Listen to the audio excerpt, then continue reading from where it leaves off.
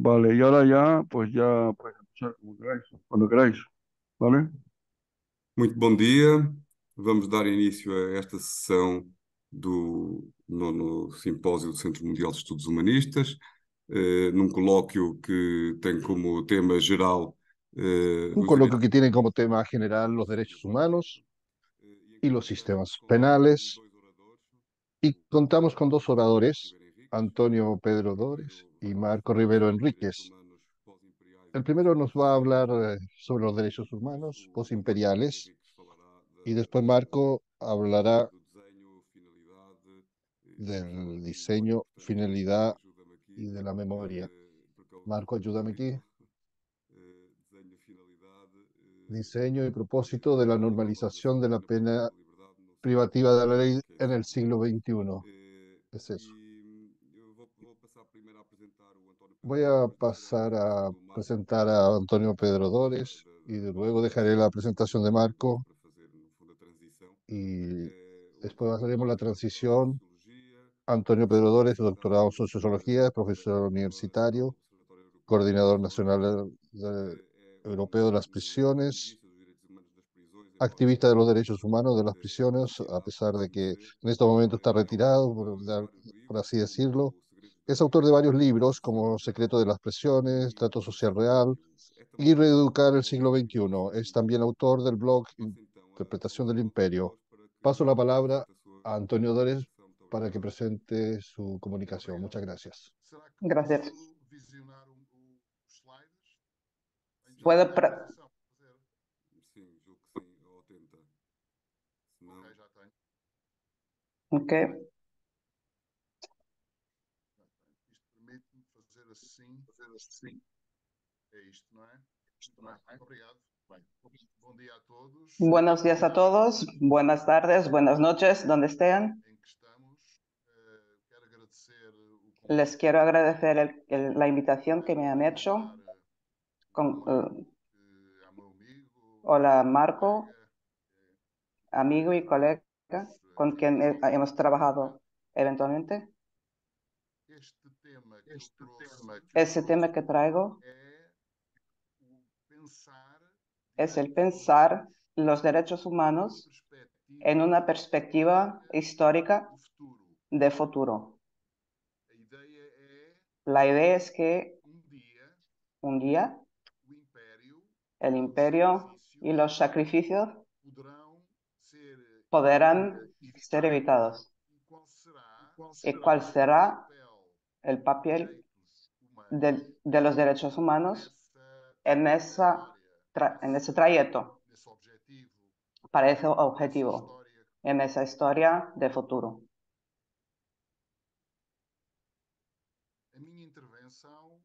Mi intervención será en torno del comentario que yo mismo he hecho este de la, de la symposium.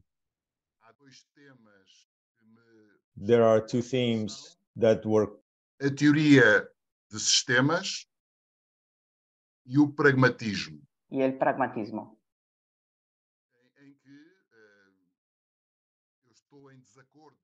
En que yo no estoy de acuerdo, de acuerdo chamada, con la llamada del simposio y ese comentario que vou que voy a seguir en esta presentación. Vou juntar ciências sociais, sociais, a agregar eh, direito ciencias sociales, derechos humanos, derecho criminal, la naturaleza humana. Son los temas que van a orientar mi intervención.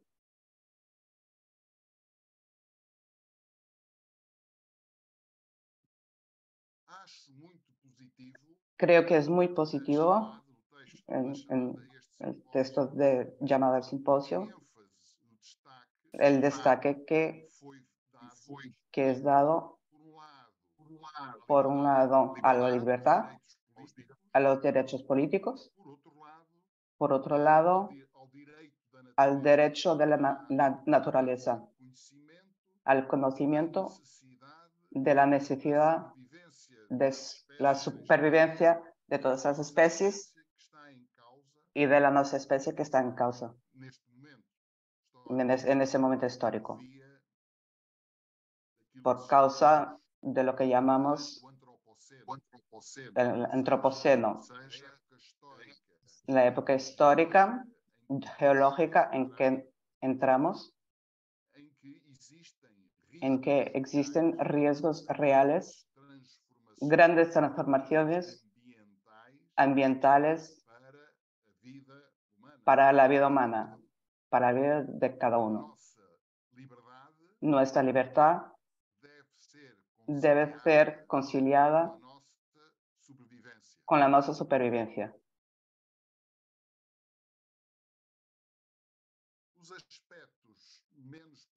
Los aspectos menos positivos del texto que he, que he leído dicen son la validación hecha a la teoría de sistemas.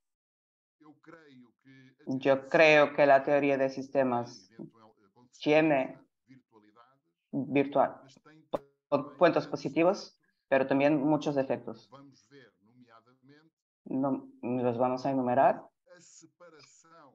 La separación de los sectores de la vida como si fueran estanques y separados.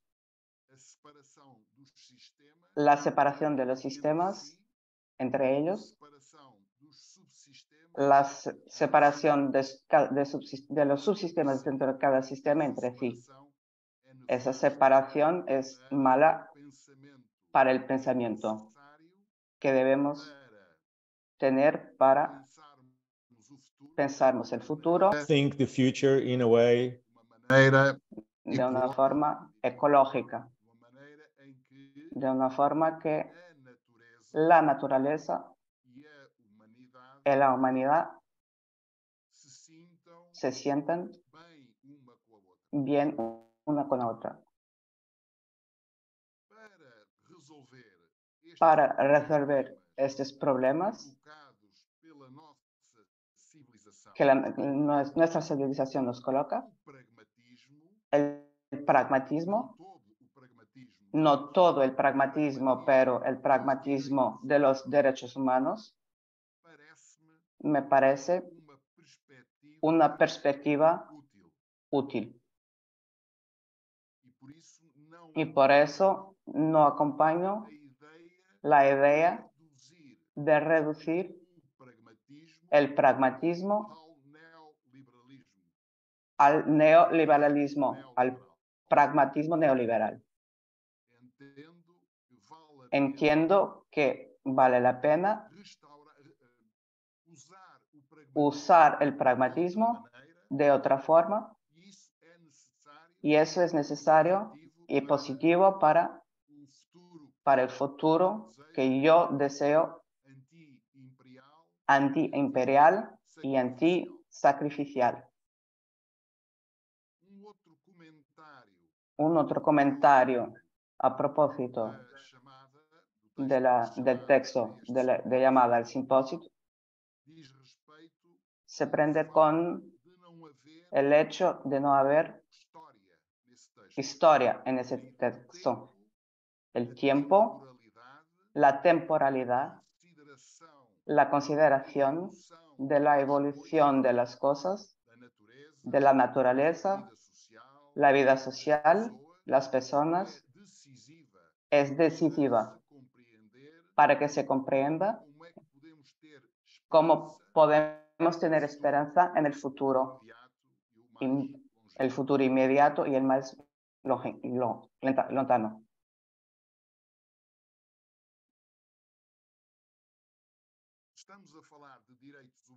Hablamos de derechos humanos y por eso yo contrapongo que la, la idea que el derecho del enemigo, el derecho del enemigo es un derecho punitivo, es un derecho sacrificial, es un derecho en el que se escoge quién será sacrificado de varias formas para que la misión imperial la, de dominio, de explota- explotación pueda continuar. El derecho del enemigo es una representación radical, lo, lo puede decir, de lo que es, de que son las intenciones del imperio, de la lógica imperial, de discriminar quiénes son los beneficiarios de quien es sacrificado en ese, proceso, en e- nuestra sociedad y civilización. Los derechos humanos pueden ser vistos, pueden ser entendidos en la perspectiva antiimperial y antisacrificial.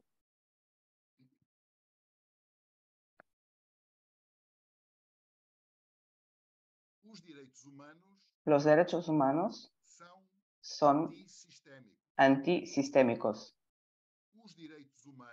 Los derechos humanos no son, no se pueden separar entre, entre ellos. Los derechos humanos son interdependientes. Y en ese sentido, que me parece que la teoría de sistemas que separa las mujeres de, los niños, los, los migrantes de los pueblos, los encarcerados de los trabajadores libres. ¿Quién hace, quién, hace esa separación? La teoría de sistemas nos, nos pone en error. En verdad, no solo la naturaleza y la especie humana están interligadas de forma que no puede ser negada, como también las varias cualidades de los humanos están interligadas de la misma forma, de una manera interdependiente y no sistémica.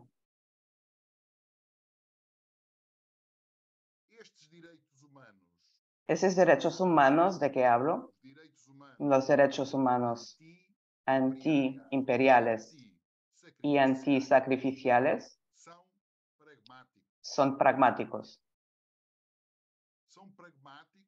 Son pragmáticos porque el todo es más que la suma de sus partes, es otra cosa.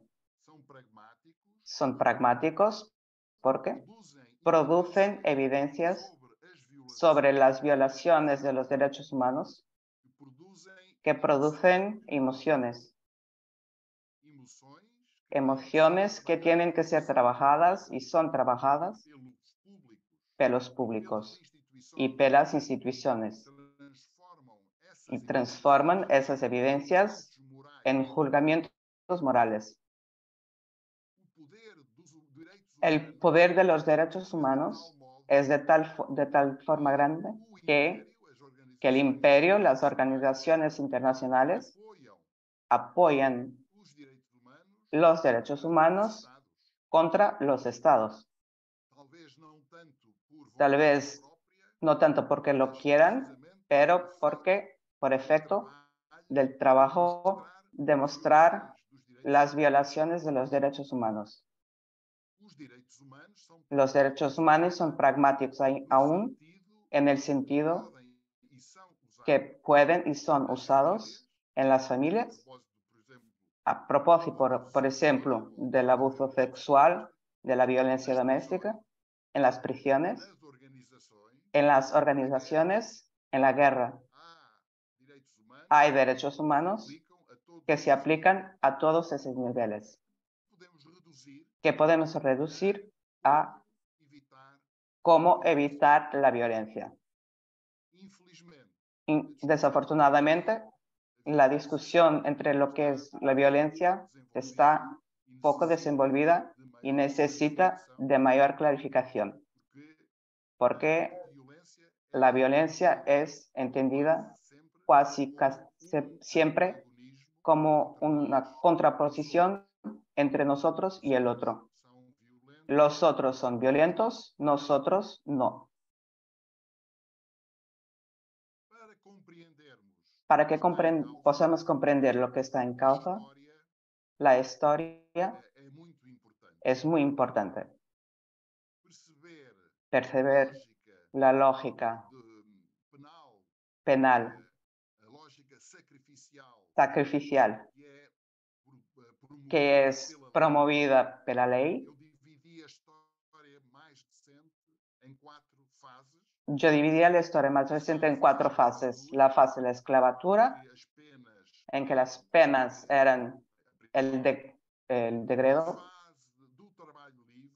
La fase de trabajo libre, asalariado, pago, en que las penas eran penitenciales. La fase profesional más, más reciente, después de la Segunda Guerra Mundial, en que vence la, la, la reforma penal de la penitenciaria y por fin, hoy, vamos para un espacio en el que las penas se, son mayores, no apenas en las prisiones, pero también en los guetos, en las zonas suburbanas, en los guetos imperiales, en los países sin Estado, en los países subordinados a la guerra imperial. Los grupos sociales escogidos para, para sacrificio empezaron por ser en la primera fase, sobre todo, los esclavos. En la segunda fase, sobre todo, los, los llevados al trabajo. En la tercera fase, más actual, las, los niños abandonados y después trabajadas de las instituciones de acogimiento, los grupos étnicos, en general producidos por la inmigración. Los inmigrantes ellos mismos, tratados como basura humana y como ciudadanos de, segunda categoría. Finalmente, en el futuro, preséntanos la expectativa de estarmos todos controlados al modo del crédito social gino o al método de la industria electrónica, comercial o política que, se, que está en el occidente ahora.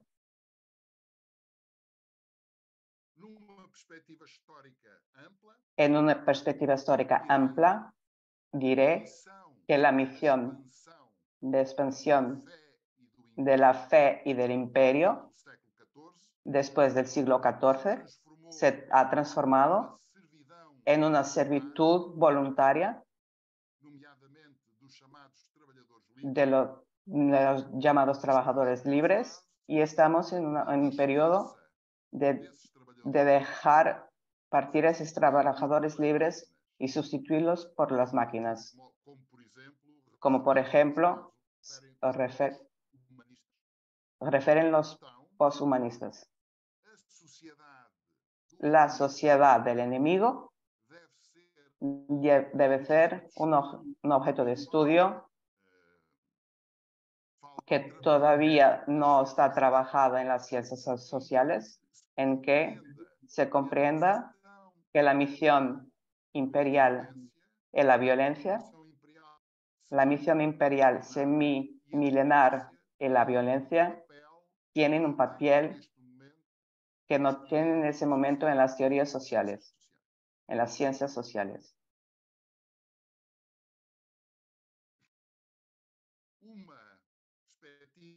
Una perspectiva que para comprender de qué forma los derechos humanos pueden ser usados en este cuadro histórico para evitar los males y la, la carencia de esperanza que sentimos en este momento y entendemos, podemos hablar en justicia transformativa. Una justicia que sea capaz de transformar las víctimas, incluyendo la generalidad de la población humana en las circunstancias, circunstancias que he descrito, en sobrevivientes, sobrevivientes de la civilización que es eh, autosuicidaria.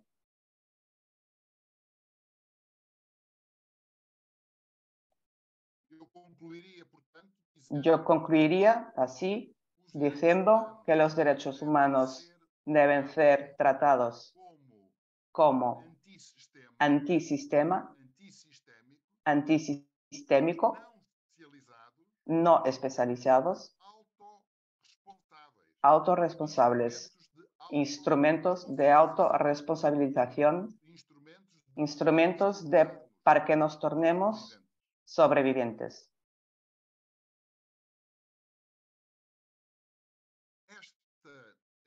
Esa, ese uso de los derechos humanos nos va a ser muy importante en la manera como nuestras sociedades se van a adaptar a las nuevas circunstancias en, en el antropoceno. Gracias por escucharme. Eu acho que vamos, vamos passar uh, a, apresentar o, o Marco e dar-lhe a palavra e depois deixamos as perguntas e os comentários para final, uh, de maneira pronta que, que, que isto seja mais uh, sistemático, por assim dizer. Não? De qualquer maneira, ficaram já aqui uma série de, de pistas importantes sobre estas questões tocadas pelo António Pedro Doge, nomeadamente o seu comentário àquilo que foi apresentado como um enquadramento uh, temático do simpósio, uh, mas deixaríamos isso então para mais adiante. Só aqui localizar então a apresentação do, do Marco. Posso partilhar a minha tela? Como? Posso partilhar os diapositivos? sim, sim, podes, podes partilhar. Deixa-me só. Não, de agora esto em espanhol. Fazer então a, a tua apresentação. Hacer entonces tu presentación. Marco trabaja como director ejecutivo en Reshape, que es una organización no gubernamental, no gubernamental y es profesor y es asistente, profesor asistente convidado del ensino superior en el Politécnico de Viseu, en Portugal. en Portugal. Tiene, Tiene trabajo de investigación publicado y experiencias experiencias acumuladas publicadas en, en abogacía, en políticas, políticas públicas, sector múltiples social, contextos contextos sociales, sociales en el extranjero. extranjero, Es licenciado, licenciado y en, en maestre- Derecho en y Derecho, actualmente desarrolla desenvolve un un doctor- doctorado en la, Universidad Universidad Nueva de Nue- Lisboa. Nueva de Lisboa. Perdonad, eh, área traduciendo de- los dos a la vez, los españoles. En uno es suficiente, o Igor y o María Joao. María Joao, una de las dos. Igor o uno de los dos para ir de acuerdo, pero no los a la vez. No, es que Igor no estaba haciendo, la lo segunda empecé yo, parte, pero, pero pasó a Igor, perdón. Vale. Posso continuar? Sigue Igor. Sí, vale, Ok. gracias. Eh,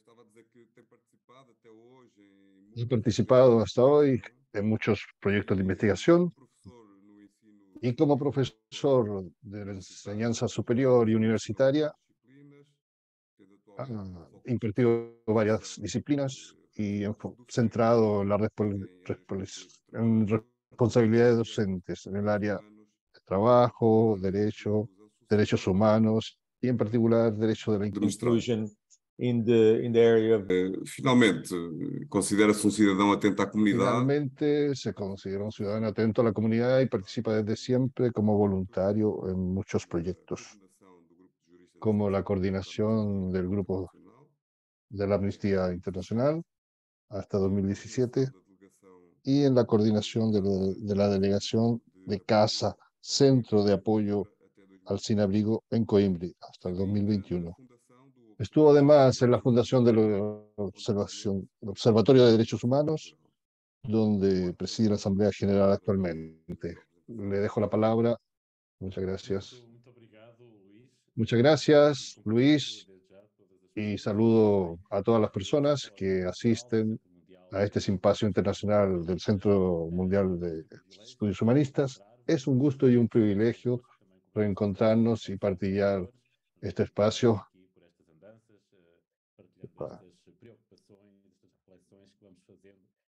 Estas cosas que vamos haciendo sobre el derechos humanos y más en particular en la temática, una temática que venimos siguiendo. Más la despacio, de la Marco. Marco, más despacio te dicen, ¿vale? Más lento, y si no te pueden traducir. Ah, mais devagar. Qual é a tradução? Eh, Estou entusiasmado. Em, Estoy entusiasmado. Me refería eh, a este tema de, de mi presentación, que va al encuentro de, de aquello que ha sido mi recorrido en la investigación y profesionalmente en el ámbito del sistema prisional y concretamente conectado a sistemas que entendemos como alternativos o complementarios al sistema actual de la privación de libertad y establecimientos prisionales. Yo trabajo, como refirió Luis, me avisé, soy director, soy Los trabajos siéntase sobre todo en trabajar con la sociedad en general y los asesores políticos en particular para un incremento de las políticas públicas en esta área, en el principio de normalización de la privación de libertad. En un breve contexto, creo que es conocido por todas las personas que siguen estas temáticas. Nosotros asistimos a un movimiento global de aprisionamiento en que hay cada vez más una tendencia de masificación de la utilización de las penas de privación de libertad como solución y por lo tanto este crecimiento es en el fondo contrario a aquello que, que es un contramovimiento que entendemos como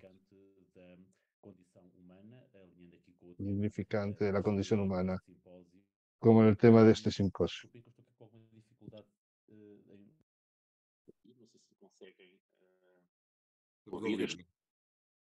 Desculpem que estou aqui num sítio que a internet não é eh, a melhor.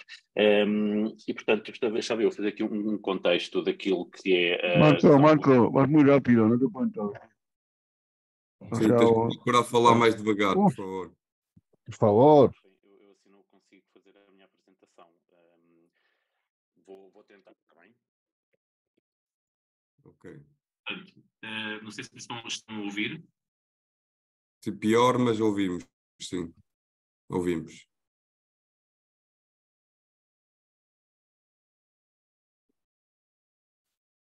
Eh, conseguem me ouvir bem? Sim. sí, Portanto, está feito, feito o contexto que é conhecido eh, de, de quem segue este contexto es conocido. Quien sigue estas materias, la masificación de la pena de prisión como una solución para quien comete crímenes, decir que el contexto de aquello que traigo aquí se infiere en esta dicotomía que tiene mucho que ver en la- con la posición de Portugal en relación a las medias de las penas. Por lo tanto, Portugal es el país que pone muchas personas presas y que tiene mucha duración de penas privativas en espacio del Consejo de Europa, mientras que en cuanto a los datos de 2022 somos el sexto país más seguro. En esta contradicción, nosotros creemos que la reincidencia supera lar- ampliamente este 6% que invocamos aquí, pero importa siempre que, que no existen estudios sistemáticos hechos en Portugal sobre la reincidencia. Estos valores son valores que tienen por base comparativos por la dimensión demográfica. Ah, Creemos que estas tasas implican un costo de millones para, para el caso portugués. Esto para decir que estamos frente a un sistema que, dada su antigüedad y su obsolencia, creemos que estamos frente a un sistema que no es eficaz en este sentido. Proponemos alternativas, como dije en el comienzo de esta presentación, pueden ser complementarias o, o de, para que evolucione el sistema, para quienes cumplen penas privativas de libertad. En este sentido, traigo aquí penas, ah, solo dos prisiones y me gustaría si consiguen ver la diferencia entre ellas. Aquí aparentemente no, no son evidentes, pero estamos frente a una prisión que hoy es un museo. Esta prisión tiene más de 200 años y queda en la Irlanda. Y en paralelo, contemporáneo a este, esta temporánea, tenemos una prisión en Bélgica que es reactivada en el 2014.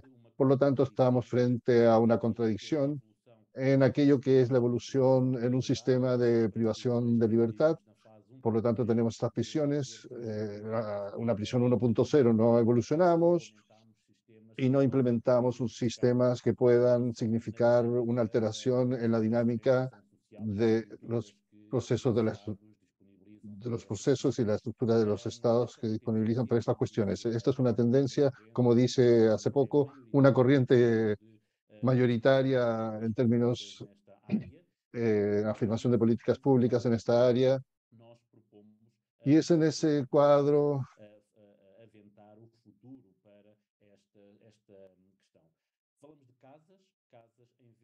hablamos de casas lugares de prisiones, eh, seguros para la privación de libertad y que concretiza la normalización de la pena de la libertad. Marcos.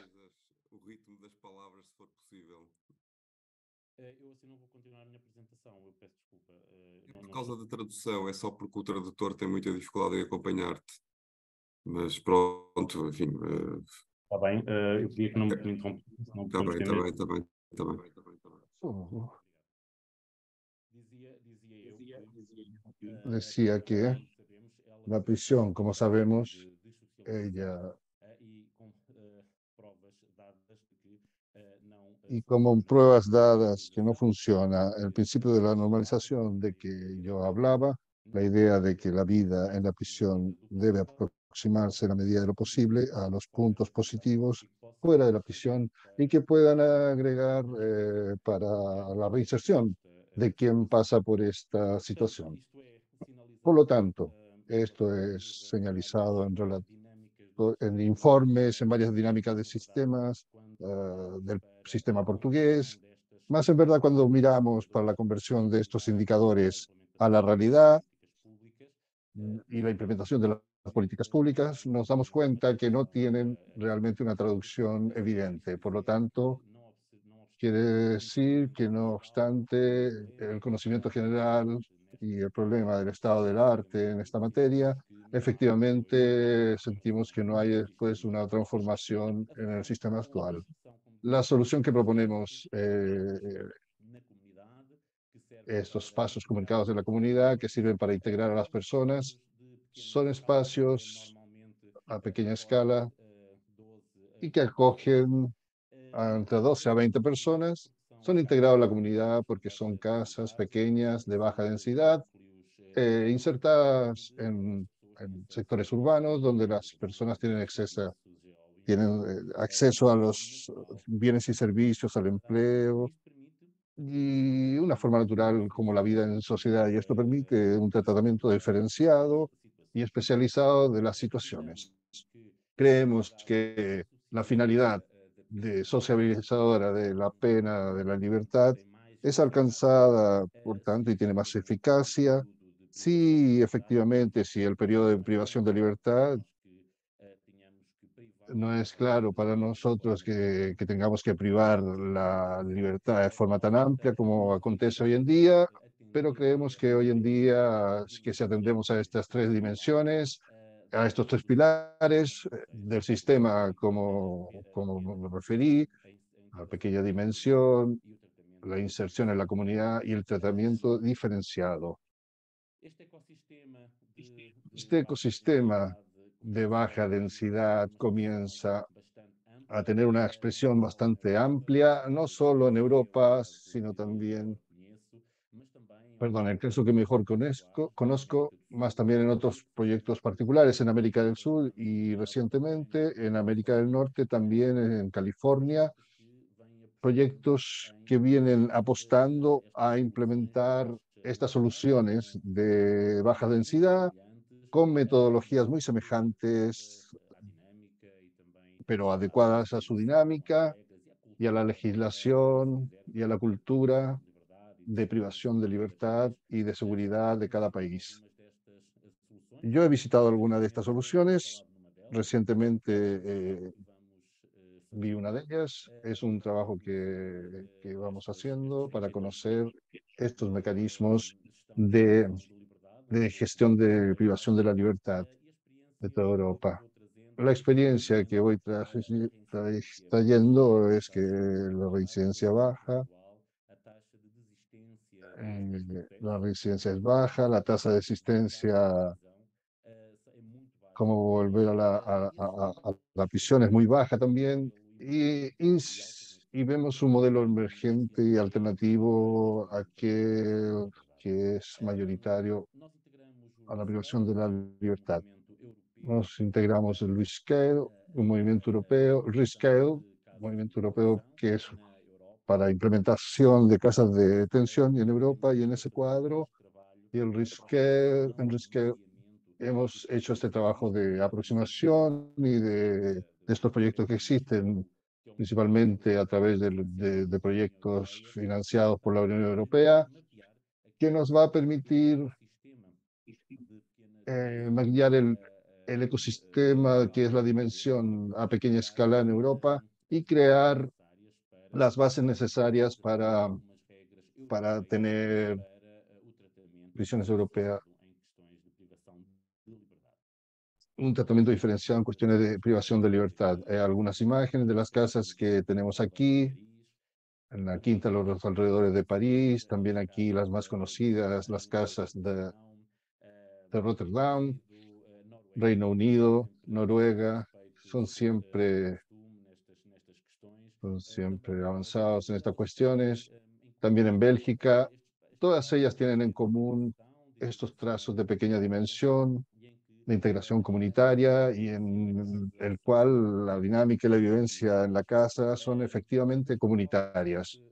Yo estoy actualmente aquí en Italia, en una casa de detención, una de las diez casas que, que la asociación Papa Giovanni 23 tiene en Italia.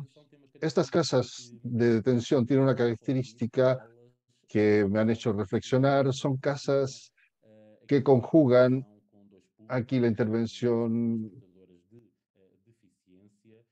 con personas portadoras de deficiencia, con personas que están cumpliendo penas de prisión. Para cada persona portadora de deficiencia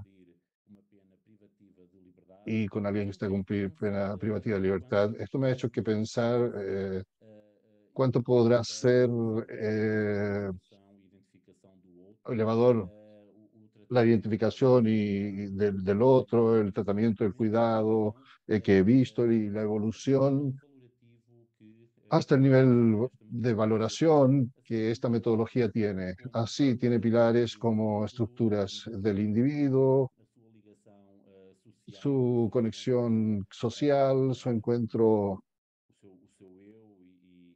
su yo, su encuentro con su yo y la idea de justicia restauradora, porque hay mucho trabajo también hecho entre las víctimas y los agresores, y por lo tanto es un trabajo que hemos seguido a este nivel.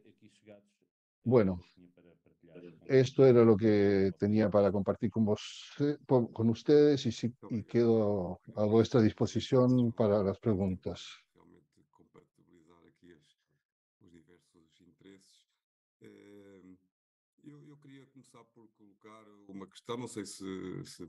Yo quiero poner una pregunta, si alguien más quiere poner preguntas. Es... Ya pueden colocar preguntas por chat o estamos en, el, en la sala, abrir el micrófono. Y le pido al técnico para abrir la apertura de los micrófonos. Hay una cuestión, Antonio Dores. En su comentario a crítica y al encuadre del simposio, cuando afirma que, que reflexiona, que él reflexiona y que él tiene una concepción propia de la teoría del sistema, ¿en qué parte y en qué momento del texto identifica eso? Y por otro lado, preguntar si aquello que es el encuadre más específico de los derechos humanos en la que se habla de la interdependencia de estos derechos, es decir, en estos derechos de, de civiles, políticos y culturales, si no va al encuentro de aquello que, que fue aquí dicho por, por sí, Antonio. Hola. Hay una, una frase, no tengo aquí el texto presente, pero hay una frase en la cual se dice, los sistemas, la teoría de, la teoría del sistema es una cosa positiva y eso se tiene que encarar de una manera sistémica. Y, y yo comprendo que eso se diga y que se, se haga cuando estamos hablando de ecología. La teoría de sistemas fue usada en- en- y es usada en términos ecológicos para pensar la integración en vari- de las varias dimensiones del sistema ecológico.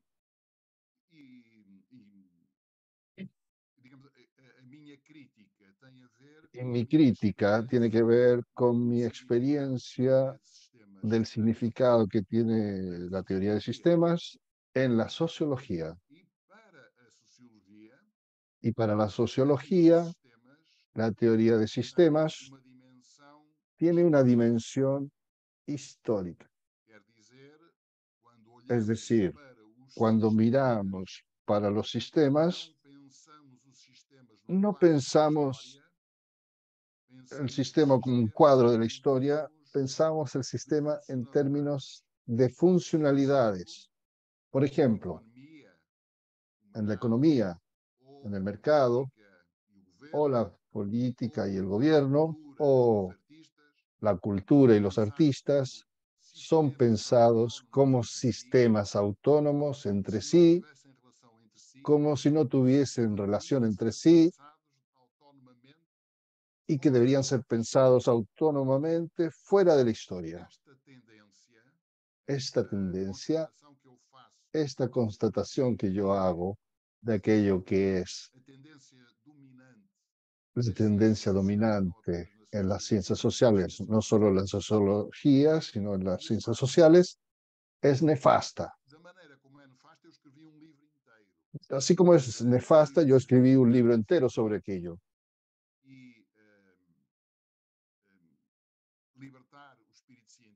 Libertar el espíritu científico es un texto sobre ello. Pero para ser sintético, yo diría, si Marco no se importa de usar la exposición de él como ejemplo, la manera regular, normal de las ciencias sociales que traten un objeto de estudio, se comprendió que la tendencia para usar la prisión fuera de los otros contextos sociales en los cuales está inserta, muy distante de los problemas ambientales, por ejemplo, pero también intentar usar los contextos específicos, como por ejemplo Portugal, o cada uno de los países de ejemplo de prisiones alternativas, o cada una de esas prisiones alternativas como sin relación en un contexto más general. Esa, ese es el resultado práctico de la aplicación general de la teoría del sistema. Y por lo tanto, eso tiene que ver, yo podría hablar 30 horas sobre aquello, pero me parece que esto no es irrelevante. Es un problema etimológico. Nuestro pensamiento aquello que estamos habi- habituados a pensar como banal, como único, no lo es. Forma parte de un entendimiento que es útil para ciertos fines, por ejemplo, para la exploración de la tierra o para la producción de profesionales que no saben lo que están haciendo en general, pero conocen todo sobre su trabajo. Y es lo que nos ll- llevó a esta situación en la que estamos, eh, suicida. Sabemos que no debemos continuar en este camino en términos ecológicos, pero continuamos haciendo lo mismo, esperando que todo vuelva a la normalidad. Y es contra esto que yo entiendo que los derechos humanos y también los derechos humanos pueden ser movidos si, si van en, en el sentido correcto. Es decir, si fueran de una manera antiimperial, o sea, si fueran entendiendo cuál es la finalidad por la cual los derechos humanos fueron creados, ¿por qué es que aquellos que suscriben los derechos humanos los violan, los estados? ¿Qué or- ¿Por qué organizaciones orga- internacionales que ni siquiera son electas se preocupan tantos, tantos con los derechos humanos sin embargo continúan siendo violados permanentemente en guerras, no solo en las prisiones, en las casas de las familias? Y nosotros entregamos como civilización a esas instituciones responsabilidades que ellos son incapaces de cumplir. Creo que di una respuesta suficiente. Se bem entendo, no fundo, que Sí, si bien entiendo que en el fondo que lo que sientes es falta de un pensamiento, de una visión estructural en relación a los fenómenos sociales que comprenda la interdependencia y los contextos de los objetos o estudios se encuentran. Sería algo así. Yo no le llamaría estructural, le llamaría antiimperial y antisacrificial. Antiimperial quiere decir comprender por qué es que nosotros, cada uno de nosotros, nuestras organizaciones, las organizaciones en las que estamos eh, involucrados, hace lo que hace, a pesar de tener conciencia de las gravedades de la situación en la que estamos. Y eso es responsabilidad individual, organizacional e institucional. Por otro lado, antisacrificial, en el sentido en que en lugar de pasar la responsabilidad a los imperios adversos, a los enemigos, a los criminales, a las personas que no piensan como nosotros, a las personas que son de otros partidos, que asumamos nuestras responsabilidades cívicas, profesionales, personales, para hacer alguna cosa efectiva, es decir, en lo social, que dé esperanza, que las cosas puedan cambiar, en lugar de conformarnos con la situación en la que estamos. Como tú estabas diciendo, Luis, en lugar de retirarnos o jubilarnos, para, para hacerlo, para hacerlo es preciso que hayan condiciones y que aquello acontezca. Y uno de los primeros obstáculos para que aquello ocurra es nuestro propio pensamiento. Nuestro pensamiento que aprendemos en la escuela, en los colegios, en las universidades. Por eso el libro que te hablé hace poco quiere decir, no podemos ni en la educación, ni en las escuelas, ni en las universidades, para que nos salven, porque las escuelas y las universidades son una parte fundamental del gran problema en el que estamos metidos,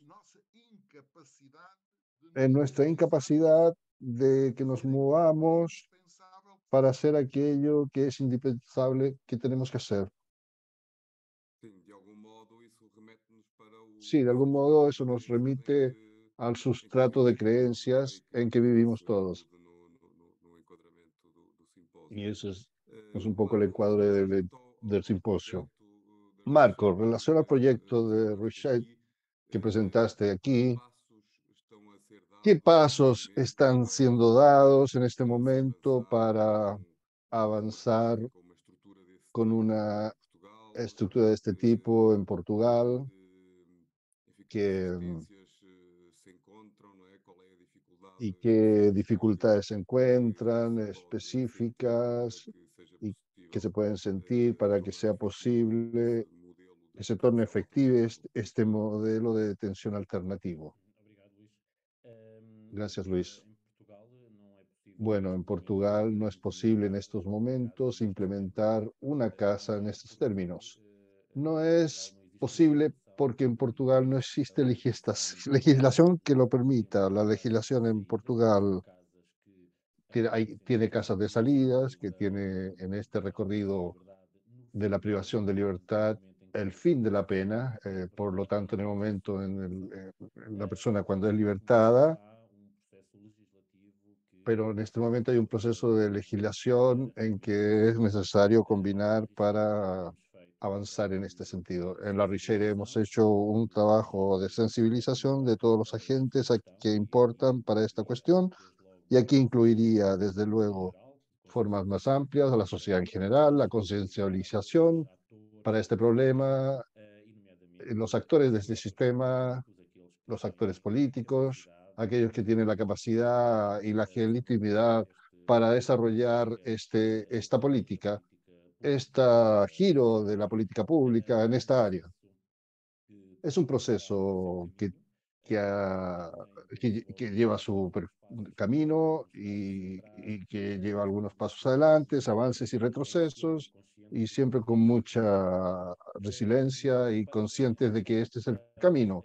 En paralelo, estamos implementando una casa de, de salida donde ya prevemos aplicar eh, parte de esta metodología que en su totalidad no es posible porque la persona no está cumpliendo una pena, sino que están después de haber cumplido la pena. Y, pero creemos que va a tener toda la, la dimensión del individuo y de la comunidad y de todo lo semejante que, que, que acontece en este tipo de proyecto y estructura. Y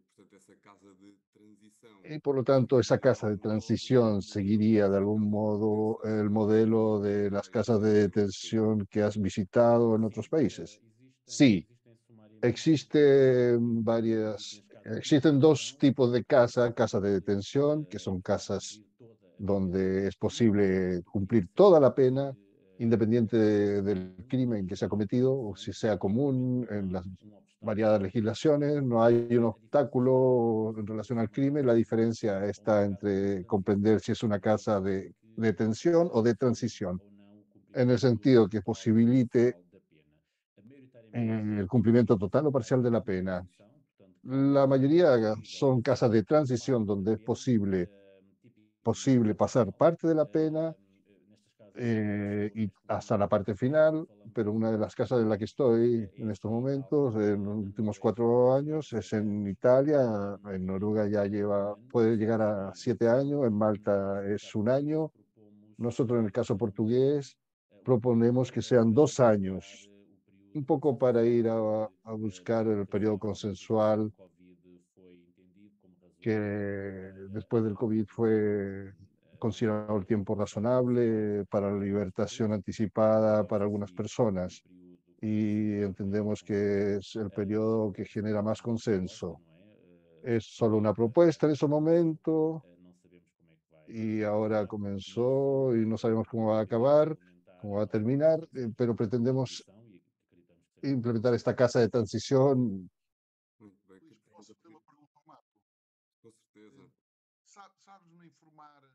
¿Me puedes informar cómo es que se hace la selección que se van para esas casas?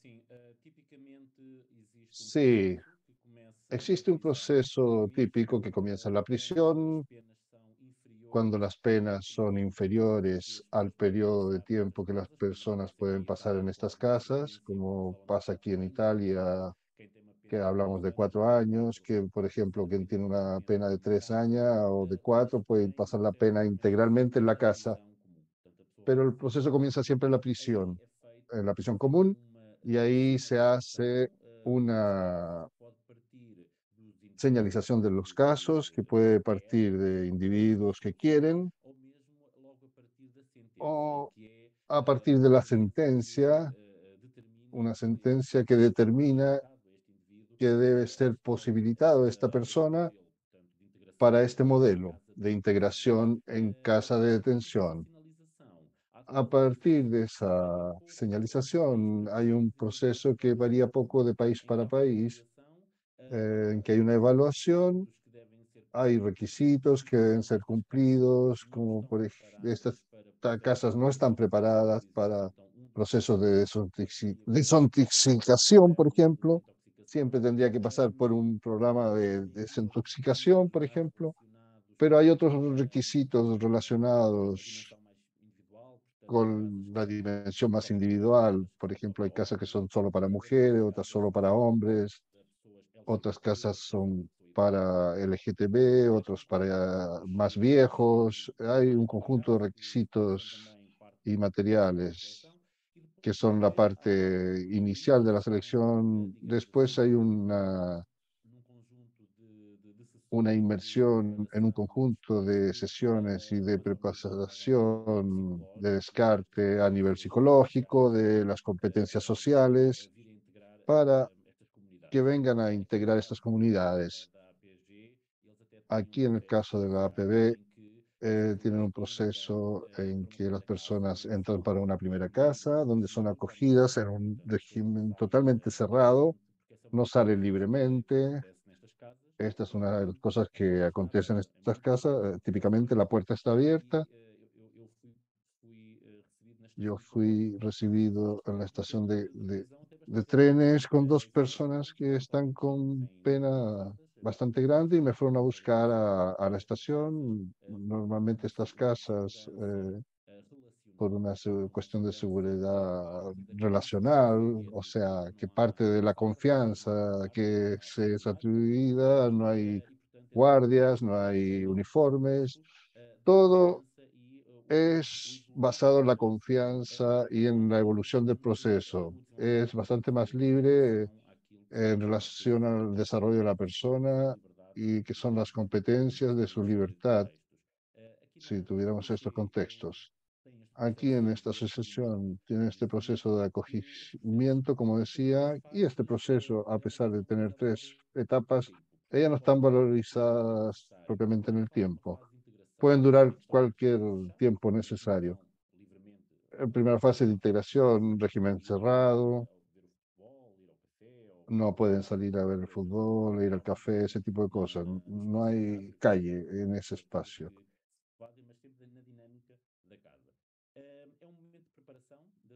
Es un momento de preparación de las personas para el proceso de integración en estas casas, que es prepararlos para la vida en comunidad, para que creen expectativas, cumplan reglas, que tengan pilares, metodología y todo lo que es propuesto en la coexistencia de estas casas. La segunda etapa es la etapa más eh, que, que dura más tiempo, donde son integrados en regímenes más abiertos, en realidad abierto entre comillas, eh, en realidad van para casas pasan haciendo una, a hacer una vida semejante a una vida en libertad.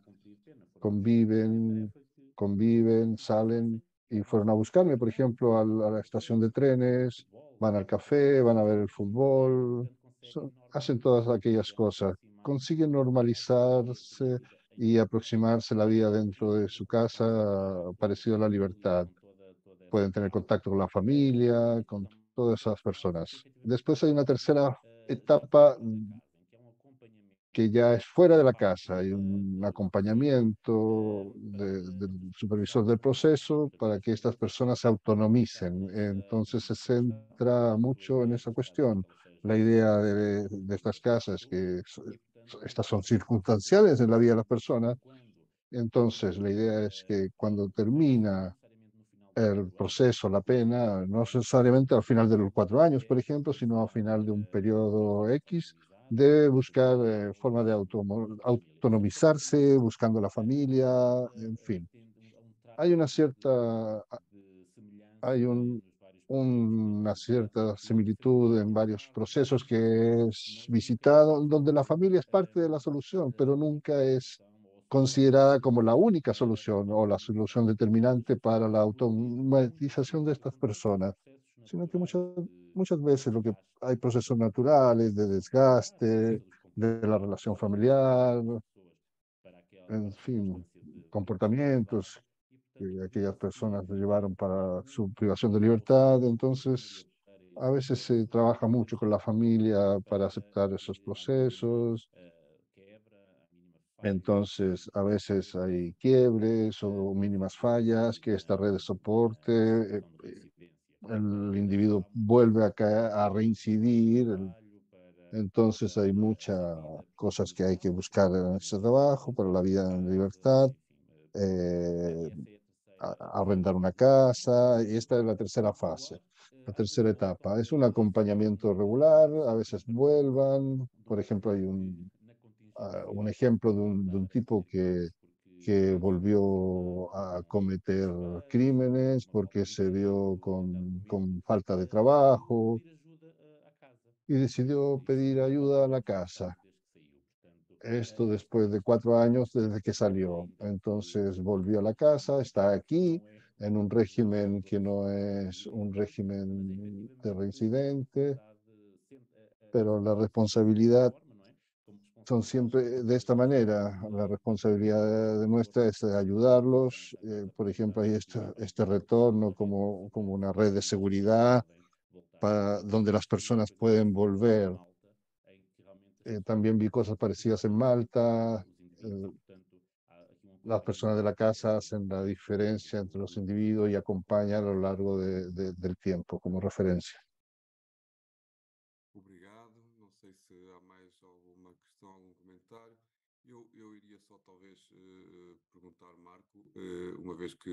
Quería preguntar a Marco que viene del mundo de formación y del derecho, ¿cómo relacionas de alguna manera esta inmovilización de cumplir la pena, que en 200 años no hay una evolución en el formato de las cárceles,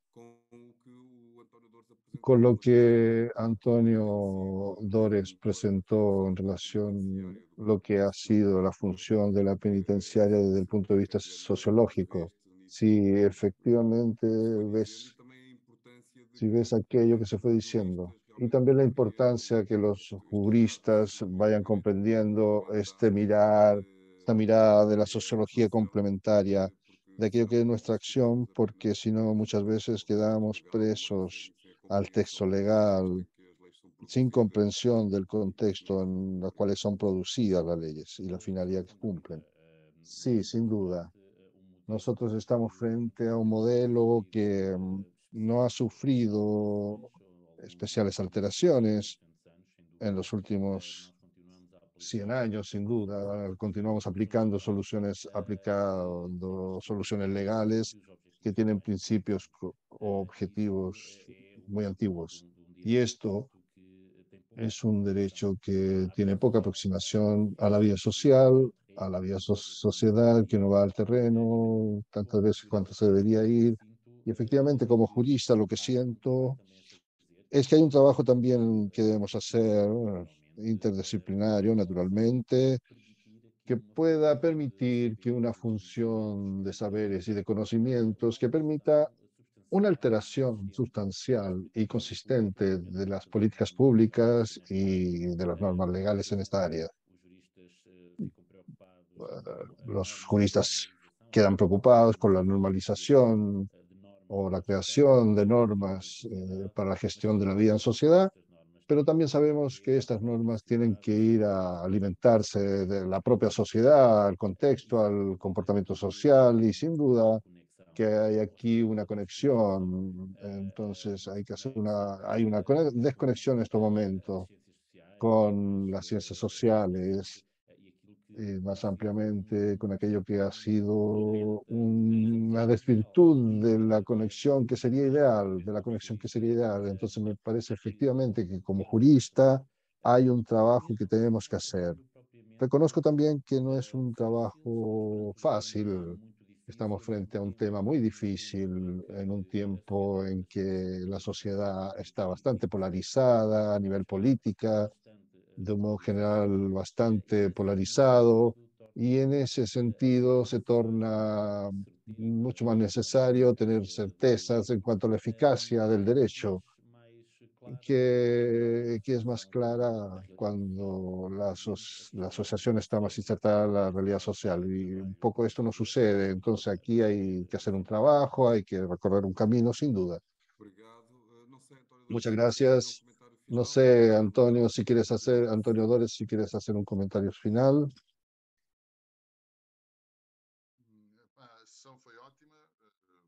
La sesión fue muy buena.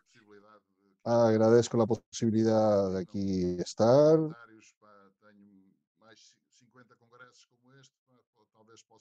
Tengo 50, si tengo 50 congresos como esto, pues tal vez pueda ayudar a hacer nuevos caminos. Pero sin duda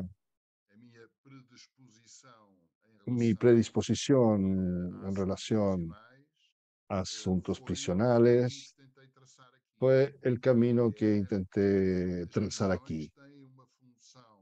Entonces, las prisiones tienen una función ilegal que están fuera de la norma, que es sacrificar personas.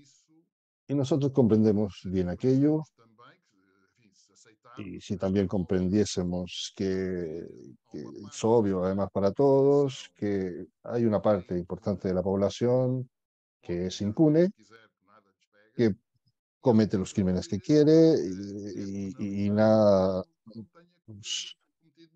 pena y hay otros que son penalizados incluso que no han cometido crímenes y esa situación evidencia y muestra la idea desde el punto de vista legal, jurídico, que fue traducida por el derecho del enemigo. Y frente a eso, la discusión que hubo fue o descalificar de tal manera el derecho que lo dejamos de utilizar o olvidar el asunto, fingir que el derecho continúa sirviendo para aquello que sirve, ahí en su sitio, en su lugar. Y la teoría de sistemas permite que eso sea así. Y por eso yo soy contra la teoría del sistema. Es necesario encontrar un derecho que sea responsabilizado. No es este el caso, el derecho, como saben, es un derecho soberano, autónomo de los otros derechos y con sovereign and it is independent of everything else. O que é que vamos fazer? Mandar para o lixo? ¿Qué vamos a hacer? ¿Mandar a la basura toda la civilización? No, no es posible. Pero es necesario tener mucha imaginación para que aquello que es evidentemente erróneo en nuestra civilización, el derecho, las ciencias sociales, eh, a las cuales me dedico más y, y conozco mejor, se pueda transformar. Ese esfuerzo, ese trabajo, esas orientaciones no están siendo conseguidas en estos momentos y hay evidencias y eso, eso es lo que nos provoca falta de esperanza. y eso es lo que hace que la extrema derecha esté prestigiándose a través de la violencia, a través de la promoción de la violencia como solución sacrificial para nuestra, frente a nuestra impotencia. Por lo tanto, cuando yo estoy caminando en, en el sentido de llamar la atención de las bases epistemológicas que nosotros hemos trabajado, Estoy diciendo también que es necesario que haya libertad para pensar contra el sistema, para que sea posible crear esperanzas, no contra el sistema en el sentido de, de- de- de la extrema derecha, más sí, pero sí en el sentido de la integración social de las personas, sobre todo las que son sacrificadas. Ellas tienen mucho para enseñar porque esas personas se esconden de, de los males, se esconden de los males de la sociedad. No tienen cómo expresarse para decir exactamente cómo fueron víctimas y cómo son reconocidos como criminales. Por ejemplo, Ucrania o Siria, los presos en general, prisioneros, o se vea las personas que son asediadas, acosadas. Hay un problema de acoso aquí en Portugal que está tomándose un poco más en serio, sobre todo en las universidades, y se ha, la discusión se ha, se ha transformado en una situación jurídica y penal.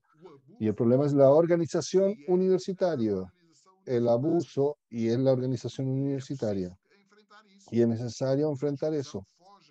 La discusión huye hacia la criminalización. Es, una, es un borrador que limpia todos los problemas, que, que evita todos los problemas, aboliendo cualquier condición para los enfrentar. Eso es terrible. Es una individualización del problema. ¿Qué hace un tribunal criminal? Define cuál es el ámbito de la cuestión que va a juzgar y en ese ámbito del crimen, y ese crimen es siempre extrasocial. O sea, es un crimen que tiene un culpable personal, que es el criminal. Entonces se juzga, el, se juzga a esa persona y no la responsabilidad social. Listo, vamos a cerrar esta sesión. Agradecer mucho las contribuciones de Marco Rivero y Antonio Adores que trajeron aquí a este simposio. También agradecer el trabajo de los traductores, que comprendo que ha sido difícil, pero sin el cual no sería posible llegar a, personas de hablantes de otros idiomas. Invito a todos los presentes para estar atentos del programa y seguir este simposio hasta el final del día de, de mañana, ya que hay muchos puntos de interés.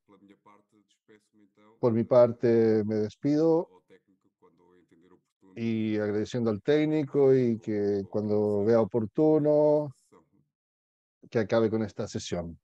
Muchas gracias.